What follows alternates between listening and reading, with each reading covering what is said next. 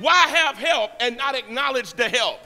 And many times as Christians, we have a helper, but we don't even, many of us don't even acknowledge the Holy Spirit or the Holy Ghost in our lives. We recognize the Father, we recognize the Son, but I remember Benny Hinn wrote a book said, Good morning, Holy Spirit. Yeah, yeah, you need to wake up and you need to acknowledge the Holy Ghost because He's in the earth now and He's in you now. So God has given us everything to live in the anointing. He's given us everything to live an anointed, powerful life. And it's available to every believer. It's not just available to fivefold ministry. It's not just available to the apostles, prophets, and, and evangelists, and pastors, and teachers. It's not just available to the ushers, and the singers, and the musicians. And it's not just available to those who we think are special. Every person has the ability to live in a powerful anointing.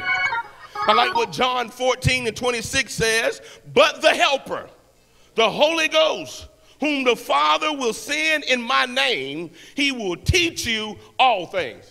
Wait a minute.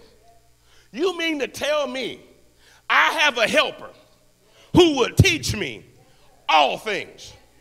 And even those of you who say you don't need a pastor talking about the Holy Ghost to teach me, you hadn't even submitted to God for the Holy Ghost to teach you.